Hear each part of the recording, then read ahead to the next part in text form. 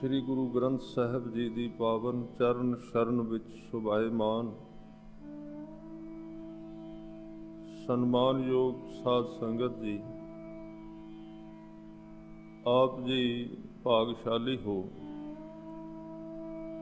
ਜੋ ਕਿ ਅੰਮ੍ਰਿਤ ਵੇਲੇ ਦੇ ਦੀਵਾਨ ਵਿੱਚ, ਹਜ਼ੂਰ ਦੇ ਚਰਨਾਂ ਵਿੱਚ ਉਪਸਥਿਤ ਹੋ ਕੇ ਸਤਿਗੁਰੂ ਸੱਚੇ ਪਾਤਸ਼ਾਹ ਜੀ ਦੀਆਂ ਖੁਸ਼ੀਆਂ ਪ੍ਰਾਪਤ ਕਰ ਰਹੇ ਹੋ। ਅੱਜ ਦਾ ਲੜੀਵਾਰ ਜੋ ਪ੍ਰਸੰਗ ਪ੍ਰਕਰਨ ਸਤਿਗੁਰੂ ਗੁਰੂ ਅਰਜਨ ਦੇਵ ਪਾਤਸ਼ਾਹ ਜੀ ਦੁਆਰਾ ਉਚਾਰਨ ਕੀਤੀ ਹੋਈ ਬਾਣੀ ਸੁਖਮਣੀ ਸਾਹਿਬ ਦੀ 8ਵੀਂ ਅਸ਼ਟਪਦੀ, ਪਹਿਲੇ 4 ਅੰਕ ਅੱਜ ਸਮਝਣ ਦਾ ਯਤਨ ਕਰਾਂਗੇ। ਗੁਰੂ ਅਰਜਨ ਦੇਵ ਪਾਤਸ਼ਾਹ ਜੀ ਨੇ ਪਰਮਾਤਮਾ ਦੇ ਰਸਤੇ ਤੇ ਤੁਰਨ ਵਾਲਿਆਂ ਦੀ ਵਿਆਖਿਆ ਵਿਚਾਰ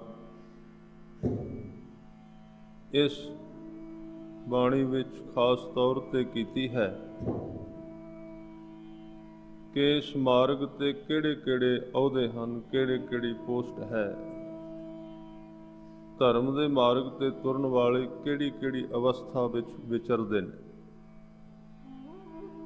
ਉਦਾਹਰਨਾਂ ਦਿੱਤੀਆਂ ਗਈਆਂ। ਬ੍ਰਹਮ ਗਿਆਨੀ ਕੌਣ ਹੈ? ਬ੍ਰਹਮ ਦਾ ਅਰਥ ਹੈ ਪਰਮਾਤਮਾ ਤੇ ਗਿਆਨੀ ਦਾ ਅਰਥ ਹੈ ਜਾਣਨ ਵਾਲਾ।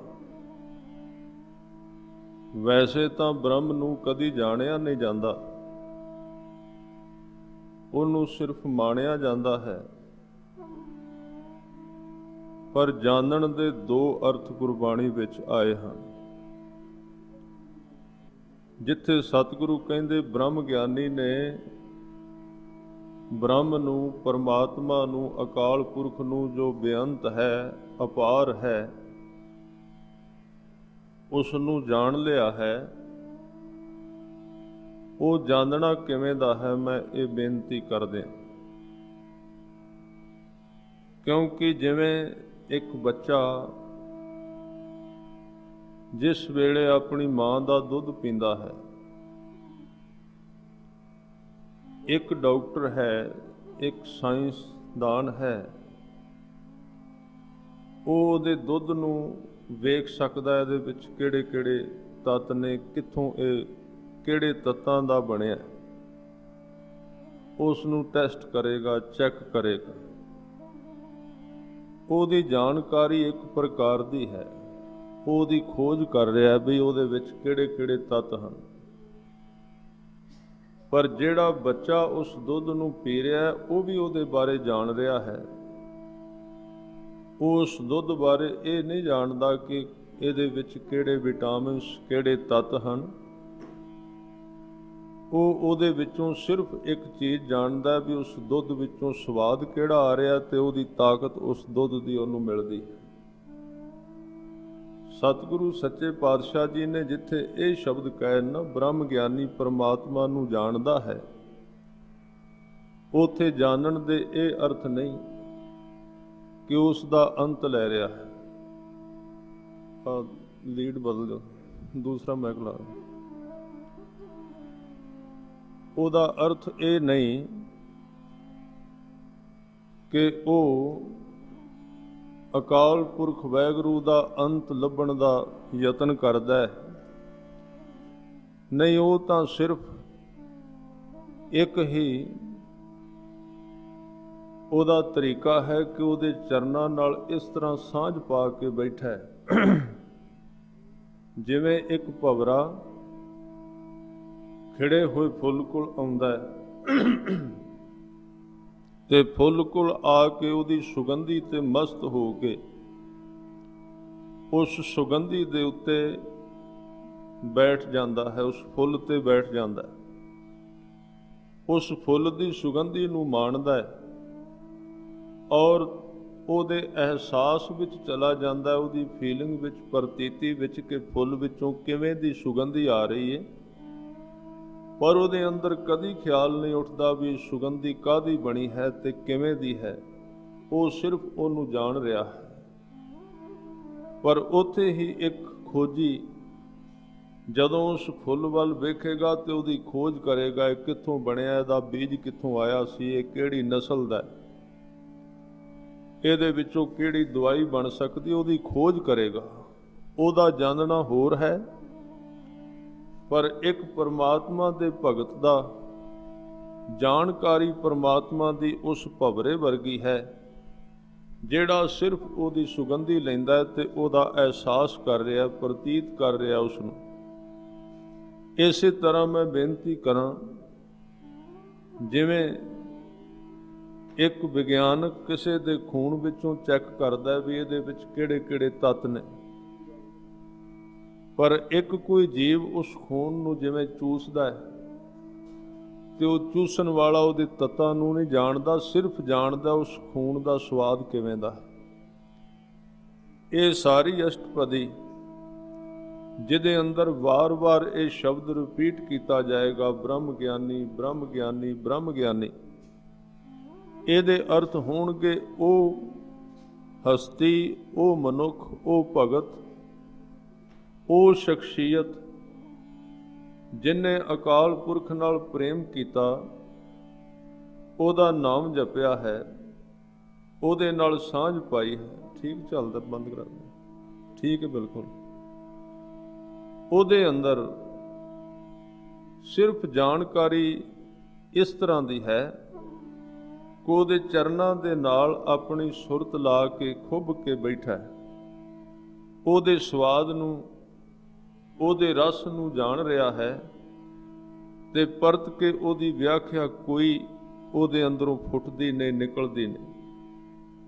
ਤਾਂ ਸਤਿਗੁਰੂ ਸੱਚੇ ਪਾਤਸ਼ਾਹ ਜੀ ਨੇ ਅੱਜ ਦੇ ਬਚਨ ਵਿੱਚ ਕਿਰਪਾ ਕੀਤੀ, ਬ੍ਰਹਮ ਗਿਆਨੀ ਕਿਵੇਂ ਦਾ ਹੈ ਉਹਦੇ ਲਕਸ਼ਣ, ਉਹਦੇ ਲੱਛਣ ਦੱਸੇ। ਸਤਿਗੁਰੂ ਗੁਰੂ ਅਰਜਨ ਦੇਵ ਸੱਚੇ ਪਾਤਸ਼ਾਹ ਜੀ ਕਿਰਪਾ ਕਰ ਰਹੇ ਨੇ, ਲੱਛਣਾਂ ਤੋਂ ਕੁਝ ਨਾ ਕੁਝ ਪਹਿਚਾਨਿਆ ਜਾ ਸਕਦਾ ਹੈ ਕਿ ਵਾਕਿਆ ਹੀ ਇਹ ਬ੍ਰਹਮ ਗਿਆਨੀ ਨਹੀਂ ਤੇ ਹੋਰ ਮੂੰਹ ਨੱਕ ਤੋਂ ਬਾਹਰੋਂ ਸਰੀਰਕ ਤੌਰ ਤੇ ਉਹਦੀ ਪਹਿਚਾਨ ਨਹੀਂ ਹੈ। ਉਹਦੀ ਹੋਰ ਕੋਈ ਪਹਿਚਾਨ ਨਹੀਂ। ਸਰੀਰ, ਹੱਥ, ਪੈਰ, ਖਾਣਾ, ਪੀਣਾ, ਪਹਿਨਣਾ, ਬੋਲਣਾ, ਉਹਦਾ ਸੰਸਾਰ ਵਰਗਾ ਹੀ ਹੈ। ਪਰ ਸਾਧ ਸੰਗਤ ਉਹਦੇ ਅੰਦਰ ਜਿਹੜੀ ਤਸਵੀਰ ਹੈ ਅੱਖ ਉਹਦੀ ਸੰਸਾਰੀ ਦੀ ਹੈ, ਪਰ ਉਹਦੀ ਅੱਖ ਦੇ ਵਿੱਚ ਜੋ ਦ੍ਰਿਸ਼ਟੀ ਹੈ, ਉਹਦੀ ਤਸਵੀਰ ਦੇ ਵਿੱਚ ਫ਼ਰਕ ਪੈ ਜਾਂਦਾ ਹੈ। ਉਹਦੀ ਤਸਵੀਰ ਦੇ ਵਿੱਚ ਅੰਮ੍ਰਿਤ ਵਰਸਣ ਲੱਗ ਪੈਂਦਾ ਇਸੇ ਤਰ੍ਹਾਂ ਹੋਰ ਕਈ ਪ੍ਰਕਾਰ ਦੇ ਉਹਦੇ ਜੀਵਨ ਦੇ ਜਿਹੜੇ ਲੱਛਣ ਨੇ, ਉਹਨਾਂ ਵਿੱਚ ਬਹੁਤ ਵੱਡਾ ਫ਼ਰਕ ਪੈ ਜਾਂਦਾ ਹੈ। ਸਤਿਗੁਰੂ ਸਭ ਤੋਂ ਪਹਿਲਾ ਲਕਸ਼ਣ ਬ੍ਰਹਮ ਗਿਆਨੀ ਦਾ ਕਹਿੰਦੇ ਨੇ ਕਿਉਂਕਿ ਬਾਹਰੋਂ ਤੇ ਪਹਿਚਾਨਿਆ ਨਹੀਂ ਜਾਏਗਾ ਬਾਹਰੋਂ ਤੇ ਵੇਖਿਆ ਨਹੀਂ ਜਾਏਗਾ ਸਿਰਫ ਉਹਦੇ ਲਕਸ਼ਣਾਂ ਤੋਂ ਜਿਵੇਂ ਇੱਕ ਬੰਦੇ ਨੂੰ ਸਰੀਰ ਵਿੱਚ ਤਾਪ ਹੈ ਬੁਖਾਰ ਹੈ ਤੇ ਉਹਦੇ ਮੱਥੇ ਤੇ ਸ਼ਬਦ ਨਹੀਂ ਆਉਂਦਾ ਵੀ ਇਹਨੂੰ ਬੁਖਾਰ ਚੜਿਆ ਹੋਇਆ ਸਿਰਫ ਤੇ ਸਿਰਫ ਸਾਧ ਸੰਗਤ ਜੀ ਉਹਦੇ ਸਰੀਰ ਦੇ ਵਿੱਚ ਜਿਹੜਾ ਭਖਵਾਪਣ ਹੈ ਉਹਦੇ ਸਰੀਰ ਦੇ ਵਿੱਚੋਂ ਜਿਹੜਾ ਸੇਕ ਨਿਕਲਦਾ ਹੈ ਉਹ ਸੇਕ ਲੱਛਣ ਹੈ ਉਹਦਾ ਕਿ ਇਹਦੇ ਅੰਦਰ ਕੋਈ ਨਾ ਕੋਈ ਬਿਮਾਰੀ, ਕੋਈ ਰੋਗ ਹੈ।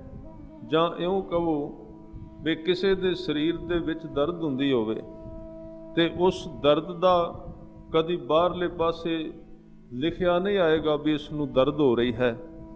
ਉਹਦੀ ਆਵਾਜ਼ ਦੇ ਵਿੱਚੋਂ ਦਰਦ ਦਾ ਅਹਿਸਾਸ ਹੋਵੇਗਾ ਜਦੋਂ ਕਹੇਗਾ ਮੈਨੂੰ ਦਰਦ ਹੁੰਦੀ ਹੈ ਜਾਂ ਉਸ ਨੂੰ ਬਾਹਰੋਂ ਉਹਦੇ ਸਰੀਰ ਦੇ ਜਿਹੜੇ ਲੱਛਣ ਨੇ ਉਹਨਾਂ ਤੋਂ ਪਹਿਚਾਨਿਆ ਜਾ ਸਕਦਾ ਹੈ। ਇਸ ਤਰ੍ਹਾਂ ਸੱਚੇ ਪਾਤਸ਼ਾਹ ਜੀ ਕਹਿੰਦੇ ਨੇ, ਰੱਬ ਦੇ ਪਿਆਰਿਆਂ ਦੇ ਕੁਝ ਲਕਸ਼ਣ ਨੇ। ਜਦੋਂ ਉਹਨਾਂ ਵੱਲ ਵੇਖਨੇ ਆ ਤੇ ਉਹਨਾਂ ਦੇ ਲੱਛਣ ਪ੍ਰਗਟ ਤੌਰ ਤੇ ਦਿਸਦੇ ਨੇ। ਇੱਥੇ ਮੈਂ ਇੱਕ ਹੋਰ ਬੇਨਤੀ ਆਪ ਜੀ ਨਾਲ ਸਾਂਝੀ ਕਰਾਂਗਾ। ਇੱਕ ਤੇ ਲੱਛਣ ਆਪਣੇ ਆਪ ਪੈਦਾ ਹੁੰਦੇ ਨੇ। ਜਦੋਂ ਕੋਈ ਭਗਤੀ ਕਰਦਾ ਹੈ ਤੇ ਭਗਤ ਭੀਖਣ ਜੀ ਦਾ ਇੱਕ ਸ਼ਬਦ ਮੈਂ ਆਪ ਜੀ ਨਾਲ ਸਾਂਝਾ ਕਰਦਿਆਂ ਉਹਦੇ ਵਿੱਚ ਸਾਫ਼ ਤੌਰ ਤੇ ਬੰਦੇ ਦੇ ਸਰੀਰ ਦੇ ਲੱਛਣ ਦੱਸੇ ਗਏ ਨੇ ਕਿ ਜਿਹੜਾ ਪਰਮਾਤਮਾ ਨਾਲ ਸਾਂਝ ਪਾਏਗਾ, ਉਹਦੇ ਸਰੀਰ ਦੇ ਲੱਛਣ ਕਿਵੇਂ ਦੇ ਬਣ ਜਾਣਗੇ। ਸਤ ਭਗਤ ਜੀ ਦੇ ਬਚਨ ਨੇ, ਕਹਿਣ ਲੱਗੇ, ਰਸਨਾ ਰਮਤ, ਸੁਣਤ ਸੁਖ ਸਰਵਣਾ, ਚਿਤ ਚੇਤੇ ਸੁਖ ਹੋਈ। ਇਹ ਸਰੀਰ ਦੇ ਲੱਛਣ ਨੇ ਰਸਨਾ ਰਮਤ। ਰਸਨਾ ਤੇ ਉਹਦਾ ਸਵਾਦ ਉਸ ਮਨੁੱਖ ਪਰ ਰਸਨਾ ਨੂੰ ਸਿਰਫ ਉਹ ਇਕੱਲਾ ਹੀ ਜਾਣਦਾ ਹੈ ਨਾ ਜਿਹੜਾ ਸਵਾਦ ਲੈ ਰਿਹਾ ਹੈ। ਦੂਸਰੇ ਨੂੰ ਨਹੀਂ ਪਤਾ ਇਹਦੇ ਰਸਨਾ ਤੇ ਕਿਵੇਂ ਦਾ ਸਵਾਦ ਪਰ ਕੁਝ ਚੀਜ਼ਾਂ ਅੱਗੇ ਉਹਨਾਂ ਨੇ ਕਹੀਆਂ। ਕਹਿਣ ਲੱਗੇ, ਚਿੱਤ ਚੇਤੇ ਸੁਖ ਹੋਈ। ਉਹਦਾ ਚੇਤਾ, ਉਹਦਾ ਚਿੱਤ, ਉਹਦਾ ਮਨ ਸੁਖ ਵਿੱਚ ਇਸ ਸੁਖ ਨੂੰ ਵੀ ਉਹ ਖੁਦ ਹੀ ਜਾਣਦਾ ਹੈ। ਇਹ ਸਾਰੇ ਲੱਛਣ ਨੇ ਬ੍ਰਹਮ ਗਿਆਨੀ ਦੇ। ਔਰ ਇਹ ਜਿਹੜੇ ਲੱਛਣ ਨੇ ਨਾ, ਇਹ ਭਾਵੇਂ ਬਾਹਰਲੇ ਨੂੰ ਨਹੀਂ ਦਿਸਦੇ ਪਰ ਅੰਦਰਲਾ ਸਾਡਾ ਦੱਸ ਦਿੰਦਾ ਵੀ ਮੈਂ ਕਿਹੜੀ ਦਸ਼ਾ ਵਿੱਚ ਗਿਆ। ਜੇ ਤੇ ਘਟਨਾ, ਜੇ ਤੇ ਇਹ ਅਵਸਥਾ ਬਣੀ ਸਰੀਰ ਦੇ ਵਿੱਚ, ਫਿਰ ਤੇ ਸਮਝ ਲੈਣਾ ਕੁਝ ਨਾ ਕੁਝ ਪ੍ਰਤੀਤੀ, ਕੁਝ ਨਾ ਕੁਝ ਬੰਦੇ ਨੇ ਤਰੱਕੀ ਕੀਤੀ ਹੈ। ਪਰ ਜੇ ਇਹ ਅਵਸਥਾ ਨਹੀਂ, ਫਿਰ ਕੱਲੀਆਂ ਗੱਲਾਂ ਨੇ ਸਾਡੇ ਜੀਵਨ ਵਿੱਚ, ਸਾਡੇ ਦਰਸ਼ਨ ਵੀ ਆਪਣੇ ਬਣਾਏ ਨੇ। ਸਾਡੀਆਂ ਅਵਸਥਾਵਾਂ ਵੀ ਆਪ ਬਣਾਈਆਂ। ਭਗਤ ਜੀ ਦਾ ਸਾਰਾ ਸ਼ਬਦ ਮੈਂ ਆਪ ਜੀ ਨਾਲ ਸਾਂਝਾ ਕਰਦਿਆਂ ਕਹਿਣ ਲੱਗੇ, ਐਸਾ ਨਾਮ ਰਤਨ ਨਿਰਮੋਲਕ, ਪੁੰਨ ਪਦਾਰਥ ਪਾਇਆ। ਪੁੰਨ ਦਾ ਅਰਥ ਹੈ ਫਸਟ ਨੰਬਰ ਸਭ ਤੋਂ ਪਹਿਲਾ ਆਲੇ ਦਰਜੇ ਦਾ। ਯਾਨੀ ਕਿ ਉਹਦੇ ਨਾਲ ਦਾ ਹੋਰ ਕੋਈ ਨਹੀਂ ਹੈ।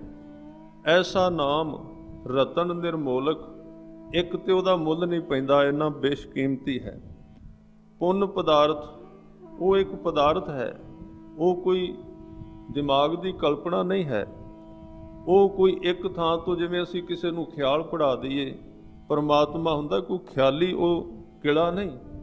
ਉਹ ਕਹਿੰਦੇ ਨੇ, ਪੁੰਨ ਪਦਾਰਥ ਇੱਕ ਤਰ੍ਹਾਂ ਦਾ ਪਦਾਰਥ ਹੈ ਜਿਵੇਂ ਆਪਾਂ ਪਾਣੀ ਪੀਨੇ ਉਹ ਪਦਾਰਥ, ਦੁੱਧ ਪੀਨੇ ਉਹ ਪਦਾਰਥ ਹੈ। ਕੋਈ ਵੀ ਚੀਜ਼ ਖਾਈ ਦੀ, ਉਹ ਪਦਾਰਥ ਹੈ ਇਸੇ ਤਰ੍ਹਾਂ ਉਹ ਜਿਹੜਾ ਪਦਾਰਥ ਹੈ ਨਾ, ਹੈ ਪਦਾਰਥ ਵਰਗਾ, ਪਰ ਉਹ ਪਦਾਰਥ ਸਾਡੇ ਸਰੀਰ ਦੀ ਪਕੜ ਵਿੱਚ ਨਹੀਂ ਆਉਂਦਾ। ਇਸ ਤੋਂ ਬਾਹਰ ਹੈ ਪੁੰਨ ਪਦਾਰਥ, ਪੁੰਨ ਦਾ ਅਰਥ ਹੈ ਸਭ ਤੋਂ ਪਹਿਲਾ, ਸਭ ਤੋਂ ਵਧੀਆ। ਫਿਰ ਉਹਦੇ ਲੱਛਣ ਦੱਸੇ ਅੱਗੇ ਨੇ, ਉਸ ਉਸ ਪੁੰਨ ਪਦਾਰਥ ਦੇ ਲੱਛਣ ਦੱਸੇ ਨੇ, ਐਸਾ ਨਾਮ ਰਤਨ ਨਿਰਮੋਲਕ ਪੁੰਨ ਪਦਾਰਥ ਪਾਇਆ। ਉਹਦੀ ਕੀ ਨਿਸ਼ਾਨੀ ਹੈ ਜਿੰਨੂੰ ਉਹ ਮਿਲੇਗਾ, ਉਹ ਯਤਨ ਕਰੇਗਾ, ਇਹਨੂੰ ਲੁਕਾ ਲਵਾਂ, ਪਰ ਉਹ ਲੁਕੇਗਾ ਨਹੀਂ। ਉਹ ਉਛਾਲੇ ਮਾਰ-ਮਾਰ ਕੇ ਉਹਦੇ ਤੋਂ ਬਾਹਰ ਨਿਕਲੇਗਾ।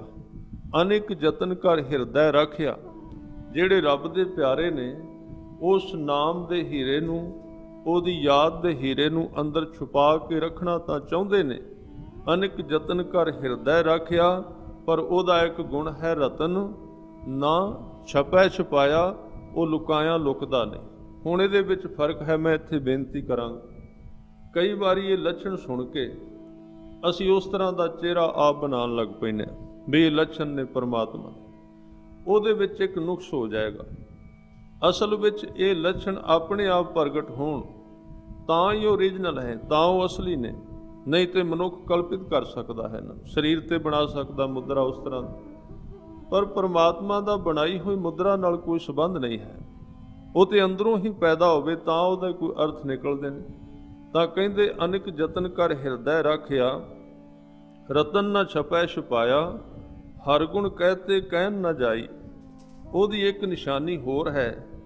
ਫਿਰ ਜਿਹੜਾ ਉਸ ਆਨੰਦ ਵਿੱਚ ਜਿਹਦੀ ਬ੍ਰਹਮ ਗਿਆਨੀ ਦੀ ਦਸ਼ਾ ਕਹਿ ਰਹੇ ਨੇ, ਉਹ ਕਈ ਵਾਰੀ ਸੋਚਦਾ ਵੀ ਇਹਨੂੰ ਕੁਝ ਨਾ ਕੁਝ ਪਰਿਭਾਸ਼ਾ ਦਿਆਂ, ਇਹਦੇ ਕੋਈ ਸੈਂਟੈਂਸ ਕੋਈ ਇਹਦੀ ਬੋਲ ਕੇ ਦੱਸਾਂ ਕੀ ਏ।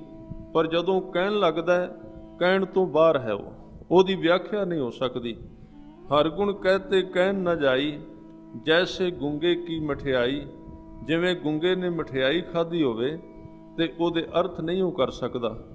ਫਿਰ ਅੱਗੇ ਉਹਨਾਂ ਨੇ ਇਹ ਉਦਾਹਰਨ ਦਿੱਤੇ, ਰਸਨਾ ਰਮਤ, ਇਹ ਨਿਸ਼ਾਨੀ ਹੈ ਬ੍ਰਹਮ ਗਿਆਨ ਦੀ, ਉਹਦੇ ਅੰਦਰ ਪ੍ਰਗਟ ਹੋਇਆ ਉਹਦੀ ਰਸਨਾ ਇੱਕ ਸਵਾਦ ਵਿੱਚ ਅੰਦਰ ਮਸਤ ਰਹਿੰਦੀ ਰਸਨਾ ਰਮਤ, ਸੁਣਤ ਸੁਖ ਸਰਵਣਾ, ਤੇ ਬਾਹਰੋਂ ਜਿਹੜਾ ਵੀ ਸੁਰ ਸੰਗੀਤ ਉਹਨੂੰ ਸੁਣਦਾ ਹੈ, ਭਾਵੇਂ ਪੰਛੀ ਬੋਲਦਾ ਹੈ, ਭਾਵੇਂ ਕੋਈ ਕੁੱਤਾ ਭੌਂਕਦਾ ਹੈ, ਭਾਵੇਂ ਪੱਖਾ ਚੱਲਦਾ ਹੈ ਉਹ ਹਰ ਇੱਕ ਆਵਾਜ਼ ਵਿੱਚੋਂ ਪਰਮਾਤਮਾ ਦੀ ਧੁਨੀ ਨੂੰ ਪਕੜਨ ਲੱਗ ਪੈਂਦਾ। ਹੈ ਰਸਨਾ ਰਮਤ, ਸੁਣਤ ਸੁਖ ਸਰਵਣਾ, ਚਿਤ ਚੇਤੇ ਸੁਖ ਹੋਈ, ਇਹ ਲੱਛਣ ਉਹਦੇ ਆਪਣੇ ਗੁਪਤ ਨੇ, ਉਹ ਜੋ ਅੰਦਰੋਂ ਵੇਖ ਰਿਹਾ ਹੈ। ਪਰ ਅਗਲਾ ਜਿਹੜਾ ਲੱਛਣ, ਉਹ ਭੀਖਣ ਜੀ ਕਹਿੰਦੇ ਨੇ ਬਾਹਰ ਪ੍ਰਗਟ ਹੋ ਜਾਂਦਾ ਹੈ। ਕਉ ਭੀਖਣ ਦੋਏ ਨੈਣ ਸੰਤੋਖੇ, ਜੈ ਦੇਖਾਂ ਤੈ ਸੋਈ। ਉਹਦੇ ਜਿਹੜੇ ਨੇਤਰ ਨੇ ਸੰਤੋਖ ਯਾਨੀ ਕਿ ਤ੍ਰਿਪਤ ਹੋ ਜਾਂਦੇ, ਰੱਜ ਜਾਂਦੇ ਨੇ। ਇਹ ਸਾਰੇ ਲੱਛਣ ਨੇ। ਗੁਰਬਾਣੀ ਵਿੱਚ ਅਨੇਕਾਂ ਹੀ ਸ਼ਬਦ ਇਸ ਬ੍ਰਹਮ ਗਿਆਨ ਦੀ ਦਸ਼ਾ ਦੇ ਉਚਾਰੇ ਗਏ ਨੇ।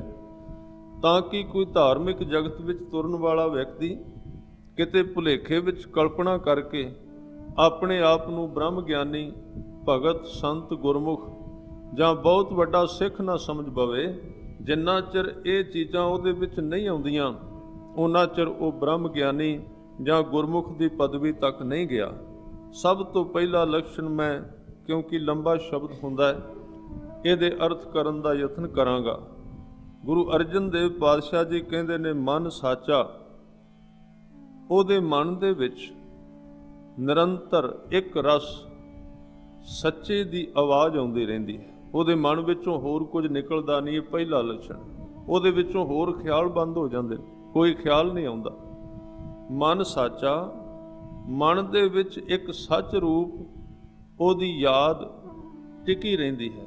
ਹੁਣ ਇੱਥੇ ਸਾਚੇ ਦਾ ਅਰਥ ਜਦੋਂ ਕਹਿੰਦੇ ਨਾ ਸੱਚ ਆਦ, ਸੱਚ ਜੁਗਾਦ, ਸੱਚ, ਇਹ ਉਹ ਅਰਥ ਨੇ ਹੁਣ ਇਹ ਸੱਚ ਜਿਹੜਾ ਇਹਦਾ ਕੋਈ ਆਕਾਰ ਨਹੀਂ, ਇਹਦੇ ਕੋਈ ਅੱਖਰ ਨਹੀਂ। ਜਪਿਆ ਗੁਰਮੁਖ ਨੇ ਨਾਮ ਹੈ, ਪਰ ਨਾਮ ਸਹਜੇ ਸਹਜੇ ਇੱਕ ਸਰੂਪ ਧਾਰਨ ਕਰ ਗਿਆ ਸੱਚ ਦਾ। ਇਹ ਵੀ ਅੱਖਰ ਨੇ ਸੱਚ।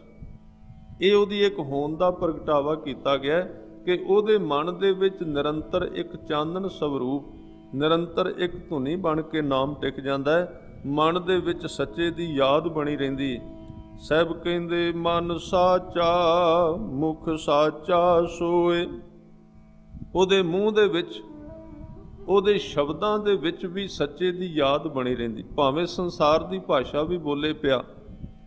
ਗੱਲ ਉਹ ਸੰਸਾਰ ਦੀ ਕਰਦਾ ਹੈ। ਉਹਦੇ ਬਾਹਰੀ ਅਰਥ ਸੰਸਾਰਿਕ ਨੇ, ਪਰ ਉਹ ਜਿਹੜਾ ਅੰਦਰ ਜੁੜਿਆ ਹੋਇਆ ਉਹਦੇ ਸ਼ਬਦਾਂ ਦੇ ਵਿੱਚ ਪਰਮਾਤਮਾ ਦੀ ਖਬਰ ਮਿਲੇਗੀ। ਉਹਦੇ ਸ਼ਬਦਾਂ ਦੇ ਵਿੱਚੋਂ ਭਾਵੇਂ ਉਹ ਸੰਸਾਰ ਦੀ ਗੱਲ ਕਰੇਗਾ, ਇਹ ਫ਼ਰਕ ਹੈ ਭਗਤ ਵਿੱਚ ਤੇ ਸੰਸਾਰੀ ਵਿੱਚ। ਸੰਸਾਰੀ ਪਰਮਾਤਮਾ ਦੀ ਗੱਲ ਕਰੇਗਾ ਤੇ ਸਾਧ ਸੰਗਤ ਉਹਦੇ ਸ਼ਬਦਾਂ ਦੇ ਨਾਲ ਸੰਸਾਰ ਚੇਤੇ ਆਵੇਗਾ। ਨਿਸ਼ਾਨੀ ਅੰਦਰੋਂ ਜੜ ਕਿੱਥੇ ਜੁੜੀ ਹੋਈ ਉਹਦੀ? ਕਿਉਂਕਿ ਅੰਦਰਲਾ ਜਿੱਥੇ ਜੁੜਿਆ ਹੈ ਆਦਮੀ ਵਿੱਚੋਂ ਉਹ ਬਾਹਰ ਪ੍ਰਗਟ ਹੋ ਜਾਏਗਾ। ਉਹਦੀ ਅੰਦਰ ਦੀ ਭਾਸ਼ਾ ਜਿਹੜੀ ਬਾਹਰ ਭਾਵੇਂ ਉਹ ਧਰਮ ਦੀ ਗੱਲ ਕਰੇ, ਪਰ ਉਹਦੇ ਵਿੱਚ ਉਹ ਸੰਸਾਰ ਦੀ ਗੱਲ ਪ੍ਰਗਟ ਹੋ ਜਾਏਗੀ। ਥੋੜੇ ਚਿਰ ਬਾਅਦ। ਬਨੌਟੀ ਹੈ ਨਾ ਕਈ ਕੁਝ। ਸੱਚ ਤਾਂ ਇਹ ਹੈ, ਜੋ ਜੀ ਹੋਏ, ਸੋ ਉਗਵੈ ਮੂੰਹ ਕਾ ਕਹਿਆ, ਵਾਓ। ਅਸੀਂ ਮੂੰਹ ਤੋਂ ਬੋਲਨੇ ਆ ਚੰਗੀ ਗੱਲ ਹੈ, ਬੋਲਣਾ ਚਾਹੀਦਾ ਪਰ ਜਿਹੜੀ ਚੀਜ਼ ਅੰਦਰ ਹੋਵੇਗੀ ਨਾ, ਤੁਸੀਂ ਕਦੀ ਵੇਖੋ ਅਸੀਂ ਬੋਲਾਂਗੇ ਭਾਵੇਂ ਵਿਸ਼ੇ ਕਿਹੜੇ ਤੇ ਬੋਲੀਏ? ਅਧਿਆਤਮ ਬੋਲਣ ਦਾ ਯਤਨ ਕਰਾਂਗੇ, ਜਾਂ ਅਸੀਂ ਬੋਲਾਂਗੇ ਸਮਾਜ ਤੇ ਬੋਲਣਾ ਜਾਂ ਬੋਲਣਾ ਨਸ਼ਿਆਂ ਤੇ, ਕੁਰੀਤੀਆਂ ਤੇ। ਪਰ ਜਿਹੜੇ ਬੰਦੇ ਬੋਲਣ ਵਾਲੇ ਦੀ ਜਿੱਥੇ ਰੁਚੀ ਖੜੀ ਹੈ ਨਾ, ਉਹ ਥੋੜਾ ਚਿਰ ਇੱਧਰ ਉੱਧਰ ਜ਼ੋਰ ਲਾ ਕੇ ਬੋਲੇਗਾ, ਪਰ ਜਿਹੜੀ ਉਹਦੀ ਆਪਣੀ ਧੁਨ ਹੈ, ਅਖੀਰ ਨੂੰ ਉਹਦੀ ਸੋਈ ਘੁੰਮ ਕੇ ਉਸ ਥਾਂ ਤੇ ਫਿਰ ਆ ਜਾਏਗੀ। ਇਸ ਕਰਕੇ ਕਹਿੰਦੇ, ਮਨ ਸਾਚਾ, ਮੁਖ ਸਾਚਾ ਸੋਏ। ਤੇ ਇੱਕ ਉਹਦਾ ਲੱਛਣ ਹੋਰ ਹੈ। ਗੁਰੂ ਅਰਜਨ ਦੇਵ ਸਾਹਿਬ ਕਹਿੰਦੇ, ਅਵਰ ਨਾ ਪੇਖੈ ਏਕਸ ਬਿਨ ਕੋਏ। ਅਵਰ ਨਾ ਪੇਖੈ ਉਹਨੂੰ ਇੱਕ ਸਮਦ੍ਰਿਸ਼ਟੀ ਦੀ ਦਾਤ ਪ੍ਰਾਪਤ ਹੋ ਗਈ। ਸਮਦ੍ਰਿਸ਼ਟੀ ਕਿਸ ਨੂੰ ਕਹਿੰਦੇ ਨੇ? ਉਹਦੀ ਦ੍ਰਿਸ਼ਟੀ ਵਿੱਚ ਦੂਜਾ ਨਜ਼ਰ ਹੀ ਕੋਈ ਨਹੀਂ ਆਉਂਦਾ। ਜਿੱਧਰ ਵੇਖਦਾ ਹੈ, ਇਹ ਵੀ ਦੋ ਤਰ੍ਹਾਂ ਦਾ ਹੈ। ਕਿਉਂਕਿ ਮੈਂ ਨਾਲੋਂ ਨਾਲ ਇਹਦੀ ਗੱਲ ਕਰਦਾ ਜਾਵਾਂ, ਹਰ ਇੱਕ ਚੀਜ਼ ਦਾ ਇੱਕ ਨਕਲੀ ਰੂਪ ਬਣਾਇਆ ਹੋਇਆ ਹੈ। ਇੱਕੋ ਅੰਦਰੋਂ ਉਪਜਿਆ ਦੋ ਚੀਜ਼ਾਂ ਨੇ। ਲੱਗਦਾ ਕਈ ਵਾਰੀ ਇੱਕੋ ਜਿਹਾ ਹੈ। ਬਿਲਕੁਲ ਉਸੇ ਤਰ੍ਹਾਂ ਲੱਗਦਾ ਤੁਸੀਂ ਵੇਖੋਗੇ ਫੁੱਲ ਖਿੜੇ ਨੇ ਤੇ ਭੁਲੇਖਾ ਪਏਗਾ ਵੀ ਅਸਲੀ ਇਹਨਾਂ ਦੀ ਜੜ ਜ਼ਮੀਨ ਵਿੱਚ ਲੱਗੀ ਹੈ। ਪਰ ਇਹ ਅਸਲੀ ਨਹੀਂ। ਇਹ ਬਣਾਏ ਹੋਏ ਨੇ। ਰਬੜ ਦੇ ਨੇ। ਫ਼ਰਕ ਬੜਾ ਇਸੇ ਤਰ੍ਹਾਂ ਗਿਆਨ ਵੀ ਰਬੜ ਦਾ ਹੋ ਸਕਦਾ ਹੈ। ਇੱਕ ਗਿਆਨ ਉਗਾਇਆ ਜਾਂਦਾ ਹੈ। ਆਪਣੇ ਜੀਵਨ ਦੀ ਜ਼ਮੀਨ ਵਿੱਚੋਂ ਉਗਾਇਆ ਜਾਂਦਾ। ਉਹਦੇ ਵਿੱਚੋਂ ਰਸ, ਉਹਦੇ ਵਿੱਚੋਂ ਆਨੰਦ ਆਉਂਦਾ ਭਾਵੇਂ ਉਹਦੇ ਬੂਟੇ ਸਿੱਧੇ ਹੋਣ, ਪੁੱਠੇ ਹੋਣ, ਜਿਵੇਂ ਦੇ ਮਰਜ਼ੀ। ਪਰ ਇੱਕ ਜਿਹੜਾ ਗਿਆਨ ਹੈ, ਉਹ ਸਾਧ ਸੰਗਤ ਬਾਜ਼ਾਰੀ ਹੈ ਕਿਤੋਂ ਲਿਆ ਗਿਆ, ਖਿੱਚ ਕੇ ਲਿਆ ਗਿਆ। ਉਹ ਰਬੜ ਦੇ ਬੂਟਿਆਂ ਵਰਗਾ ਪਰ ਇਹਦਾ ਖਿਆਲ ਰੱਖਣਾ, ਭਾਵੇਂ ਰਬੜ ਦੀ ਰੋਟੀ ਪਈ ਹੋਵੇ, ਬੜੀ ਸੋਹਣੀ, ਬਿਲਕੁਲ ਗੋਲ ਹੈ। ਵੇਖਿਆ ਲੱਗਦਾ ਵੀ ਇਸ ਤਰ੍ਹਾਂ ਦੀ ਰੋਟੀ ਕਦੀ ਕੋਈ ਪਕਾ ਨਹੀਂ ਸਕੇਗਾ। ਪਰ ਰਬੜ ਦੀ ਰੋਟੀ ਜਿਹੜੀ ਕਦੀ ਕਿਸੇ ਨੂੰ ਤ੍ਰਿਪਤ ਨਹੀਂ ਕਰਦੀ। ਦੂਸਰਾ ਪ੍ਰਸ਼ਾਦਾ ਜਿਹੜਾ ਭਾਵੇਂ ਕੱਚਾ ਵੀ ਰਹਿ ਜਾ ਥੋੜਾ ਜਿਹਾ, ਬਿਲਕੁਲ ਸਾਫ਼ ਨਹੀਂ, ਗੋਲ ਨਹੀਂ ਪੱਕੀ, ਕੱਚੀ ਪੱਕੀ ਹੈ, ਪਰ ਉਹ ਜਿਸ ਬੰਦੇ ਦੇ ਮੂੰਹ ਵਿੱਚ ਜਾਏਗੀ, ਉਹਨੂੰ ਸਾਧ ਸੰਗਤ ਦੀ ਕੁਝ ਨਾ ਕੁਝ ਤ੍ਰਿਪਤੀ ਮਿਲੇਗੀ। ਇਸੇ ਤਰ੍ਹਾਂ ਧਰਮ ਵੀ ਦੋ ਤਰ੍ਹਾਂ ਦਾ ਜੇ, ਇੱਕ ਧਰਮ ਹੈ ਬਾਹਰੋਂ ਬਣਾਇਆ ਹੋਇਆ, ਇੱਕ ਧਰਮ ਹੈ ਕਮਾ ਕੇ ਆਪਣੇ ਵਿੱਚ ਉਹਨੂੰ ਜਨਮ ਦਿੱਤਾ ਜਾਂਦਾ ਹੈ। ਦੋਵਾਂ ਵਿੱਚ ਫ਼ਰਕ ਬੜਾ ਹੈ। ਇਸ ਕਰਕੇ ਇਹ ਕਮਰਸ਼ੀਅਲ ਨਹੀਂ, ਧਰਮ ਜਿਹੜਾ ਹੈ। ਜੀਵਨ ਦੇ ਵਿੱਚੋਂ ਇਹਨੂੰ ਜੇ ਕੋਈ ਉਗਾਏ, ਤਾਂ ਉਹਦੇ ਜੀਵਨ ਦੇ ਵਿੱਚ ਕੀ ਵਾਪਰਦਾ ਹੈ? ਇਹ ਵੇਖਣਾ ਵੀ ਦੋ ਤਰ੍ਹਾਂ ਦਾ ਇੱਕ ਅਸੀਂ ਸਮਝੀਏ ਸਾਰੇ ਰੱਬ ਦਾ ਰੂਪ ਨੇ, ਪਰ ਇੱਕ ਜਦੋਂ ਸਾਡੇ ਅੰਦਰ ਦੀ ਦ੍ਰਿਸ਼ਟੀ ਬਦਲ ਜਾਏਗੀ, ਕੋਈ ਬਿਗਾਨਾ ਦਿਸੇਗਾ ਨਹੀਂ। ਇਹ ਉਹ ਦਸ਼ਾ ਹੈ ਜਿਹਨੂੰ ਸਹਿਬ ਕਹਿੰਦੇ ਬਿਸਰ ਗਈ, ਸਭ ਤਾਤ ਪਰਾਈ। ਜਬ ਤੇ ਸਾਧ ਸੰਗਤ ਮੋਹਿ ਪਾਈ, ਨਾ ਕੋ ਬੈਰੀ ਨਹੀਂ ਬੇਗਾਨਾ, ਸਗਲ ਸੰਗ ਹਮ ਕੋ ਬਣ ਆਈ। ਇਸ ਤਰ੍ਹਾਂ ਦੀ ਦਸ਼ਾ ਵਿੱਚ ਗਿਆ ਹੋਇਆ ਆਦਮੀ, ਇਉਂ ਕਹੋ ਸੰਸਾਰੀਆਂ ਵਾਸਤੇ ਇੱਕ ਪ੍ਰੋਬਲਮ ਵਿੱਚ, ਮੁਸੀਬਤ ਵਿੱਚ ਆ ਜਾਂਦਾ। ਉਹ ਕਿਹੜੀ ਹੈ ਕਿਉਂਕਿ ਸੰਸਾਰ ਤੇ ਗਰੁੱਪ ਵਿੱਚ ਜਿਉਂਦਾ ਹੈ ਨਾ, ਧੜਿਆਂ ਵਿੱਚ ਜਿਉਂਦਾ ਹੈ। ਬੰਦੇ ਦਾ ਜੀਵਨ ਧੜਿਆ ਕਰਕੇ ਉਹ ਚੁਣਦਾ ਮੈਂ ਕਿਹੜੇ ਪਾਸਿਓਂ ਆ? ਆਦਮੀ ਵਿੱਚ ਇਸ ਲਈ ਸਿਆਣਿਆਂ ਨੇ ਕਿਹਾ ਕਿ ਗਦਾ ਤੇ ਉਹ ਆਦਮੀ ਇੱਕੋ ਜਿਹੇ ਨੇ ਜਿਹੜੇ ਗਰੁੱਪ ਤੋਂ ਬਿਨਾ, ਸਾਈਡ ਤੋਂ ਬਿਨਾ ਜਿਉ ਨਹੀਂ ਸਕਦੇ।